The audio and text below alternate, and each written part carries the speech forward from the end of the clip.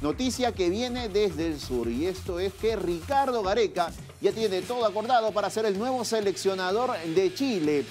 Solo falta la última reunión que sería presencial, lo que normalmente se da. Ustedes recordarán cuando se dieron las negociaciones con Jorge Fossati, que había primero acuerdo, que se había hablado primero con el representante, luego con el comando técnico. Bueno, también sucedió acá. Los miembros de la Federación Nacional de Fútbol eh, Profesional de Chile hablaron, hoy llegaron a un acuerdo con el abogado de Ricardo Gareca, Cupelli. También estuvo Milton Gareca, el hijo del entrenador argentino y se espera que el fin de semana esté en Santiago de Chile para cerrar los últimos detalles y poder ser anunciado como nuevo seleccionador de la selección de la Estrella Solitaria. Debut oficial, ustedes ya lo saben, si es que todo se da tal cual viene circulando la información, sería al inicio de la Copa América frente a Perú.